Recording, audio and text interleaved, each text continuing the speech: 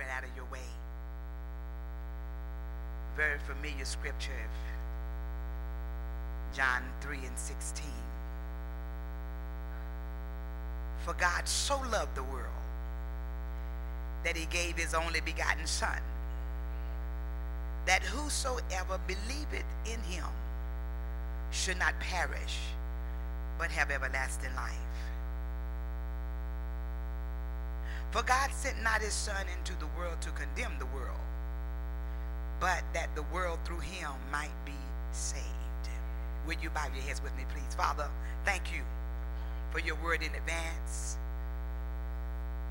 Move anything that the enemy would come to destroy, that to come against your word, that your word would, word would have no hindrance and would go completely according to your will.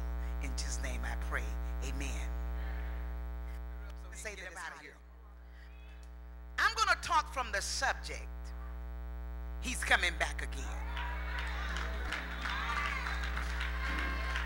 Look at your neighbor and say, neighbor, Jesus is coming back again. Amen.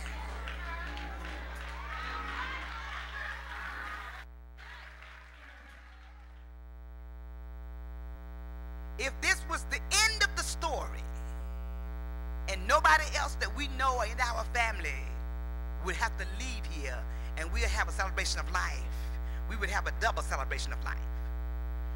But the point is, Jesus is coming back again. You, you must prepare for departure because you have an appointment that no one can take in your stead. It's going to be particularly your appointment. John 3.16 is saying to the world, to how just showing just how much the Lord loves the world. The world is saying the unbeliever. God loved the world so much until he gave his only begotten son to redeem man back to God because in the book of Genesis when Adam and Eve sinned, the enemy got the victory. Sin came into existence in man in mankind. But God had a, already had a plan before that Genesis episode that his son would die and redeem man back to God, bound back, buy man back to God. Had to be redeemed, redeemed by the blood of Jesus Christ because no one's blood was pure enough to buy back man from to God. But the Son of God, Jesus, the Savior, the Son of God. And so in, in 3 and 16, when it says, For God so loved the world, it doesn't matter where you are in life. It doesn't matter where you are in this world. It doesn't matter what you have done. It doesn't matter what you are doing. But the Lord has already redeemed you from the hands of the enemy. But it's up to you and I to prepare ourselves for the departure when Jesus comes again. We're in this crowd today. We don't know who will be the next one to departure out of here. But the thing that you have to understand is you have got to be prepared. You have got to be ready to get up out of here. How am I going to do that? You got to be born again.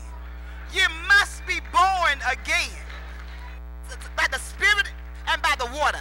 It's un listen, we have to understand we come to funeral at the funeral at the funeral,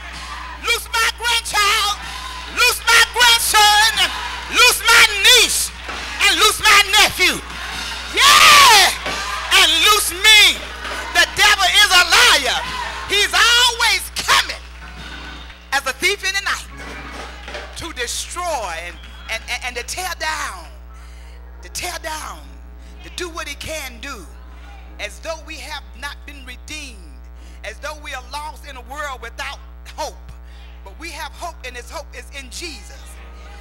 God so loved us. He loved us. He loved us. He loved us. He loved us. He loved us. It doesn't matter what the enemy have planted into your heart and, and what kind of lifestyle that you are living today. The Lord can change that lifestyle right now. Don't take him long. It don't take him a long time to redeem you and bring you back to him. You need to be born again. You need to ask Christ to come into your life to forgive you of all of your sins. And he, if you believe that he will, he will do that, he will do that and more. He will justify you. He is the, we, we, you, you can become the righteousness of God. But it's time for us to understand that if he's going to come back, then what's he coming back for? A vessel. He's coming back for me. He's coming back for you. I don't know the day and I don't know the hour. But sure enough, he's coming back. And it's up to you to be ready. You may be joining the church and your name may be on the church road. It doesn't mean that you are ready for departure. You might be singing in the choir, but it does not mean you're ready for departure. You might be on the usher board, but it does not mean you're ready for departure. You may be on the deacon board, but it does not mean you're ready for departure. You got to be born again. Say it. Say it. It's time to make, make things right between you and the maker because he's calling. He's calling us now. He said, come on and get ready. I took someone that you love,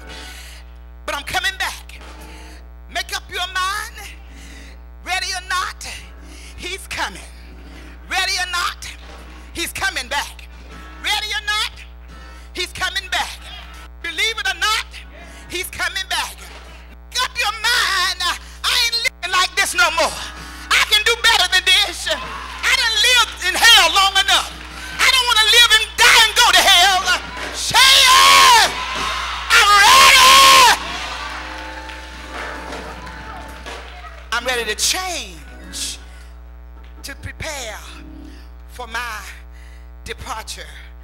I'm ready to be born again.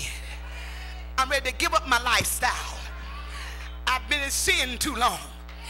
I've been addressing the issues of sin in my life too long. And it got me bound long enough. But I made up my mind today that I'm ready to give my life over unto the Maker. For he loves me. Out of all I've done, out of all I tried to do, out of all I wanted to do and didn't do, he loved me in spite of. And there's anyone that will love me out of all the mess I've done, out of all the stuff that I've done, and is still willing to save me, then I need to make myself ready.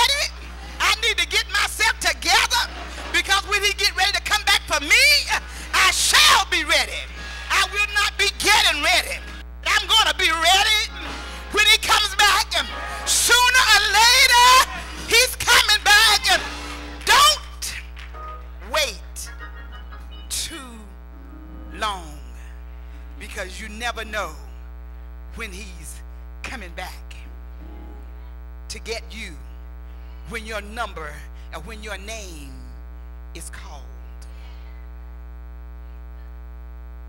And the earth realm life time will be over and you'll go into eternity. Time is slipping away is running out on everybody under the sound of my voice. My time is running out. Your time is running out. Now, what you're gonna do with this time that you got left? Make good use of the time that you have, because before you know it, the angel of death may call your name and you make your departure. But will you be ready when he comes?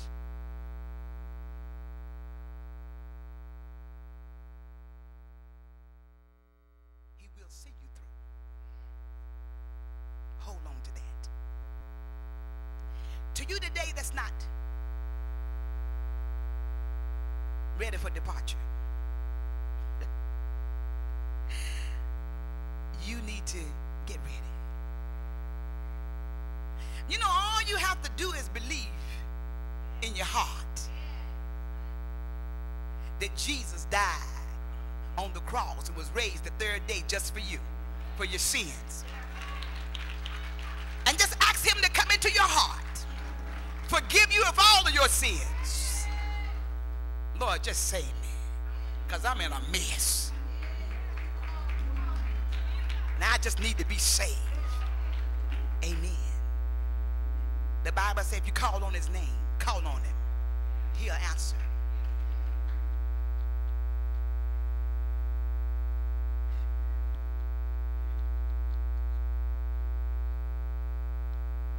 Look at the neighbor and say, neighbor. No, look at him. Don't be afraid. Look at him. People don't want to look at each other like, I ain't going to look at you. Find somebody. Maybe they ain't your neighbor. Look across the street.